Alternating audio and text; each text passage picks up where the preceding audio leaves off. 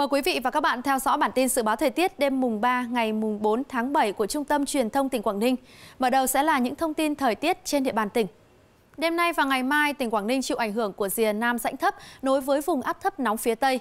Thời tiết các khu vực trong tỉnh phổ biến là mây thay đổi, đêm và sáng khu vực miền Đông có mưa, mưa rào và rông. Các khu vực khác có mưa vài nơi, trưa chiều trời nắng gián đoạn. Dự báo các huyện thị, thành phố thuộc khu vực miền Đông do giải rác có mưa nên nhiệt độ đêm nay và ngày mai thấp hơn các khu vực khác trong tỉnh, duy trì trong khoảng từ 26 đến 31 độ. Tại khu vực Cái Chiên, Hải Hà, Trà Cổ, Móng Cái cần đề phòng xét gió giật mạnh trong mưa rông, tầm nhìn giảm. Còn khu vực miền Tây và thành phố Hạ Long, nhiệt độ đều phổ biến ở mức 29 đến 33 độ. Ở vùng biển ngoài khơi và huyện đảo Cô Tô, ngày mai mây thay đổi, đêm không mưa, ngày trời nắng. Gió Tây Nam cấp 3, cấp 4, có lúc cấp 5, sóng cấp 2, cấp 3, tầm nhìn xa 10 km.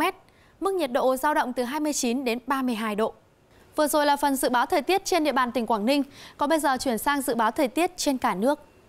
Quá trình hội tụ còn duy trì, trong đêm nay và khoảng chiều mai, mưa rông sẽ xảy ra nhiều nơi trên khu vực Bắc Bộ.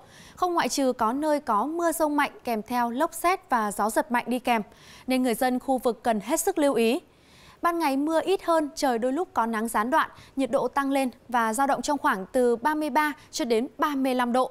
Tiết trời oi và nóng.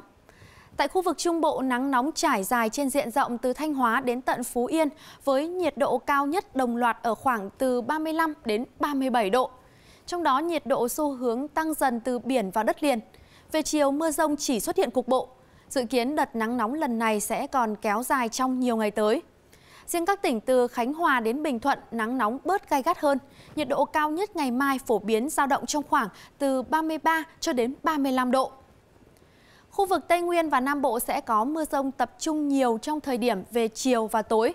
Khuyến cáo với người dân khu vực về các hiện tượng thời tiết nguy hiểm đi kèm trong mưa rông giai đoạn này là xét và gió giật mạnh. Do trời nhiều mây, có mưa, thời tiết mát mẻ về đêm và sáng. Nhiệt độ trưa chiều mai tại khu vực Tây Nguyên là từ 30 đến 32 độ và ở Nam Bộ giao động trong khoảng từ 32 cho đến 34 độ. Đối với thời tiết trên biển, khu vực Bắc Biển Đông thịnh hành gió Nam đến Tây Nam phổ biến với cường độ cấp 4 đến cấp 5. Thời tiết các vùng biển Bắc đến giữa Biển Đông chỉ có mưa vài nơi nên tầm nhìn xa thông thoáng hơn trên 10 km. Riêng khu vực Nam Biển Đông có mưa rải rác nên khuyến cáo tàu thuyền về tầm nhìn giảm kèm theo khả năng lốc xét và gió giật mạnh trong cơn rông.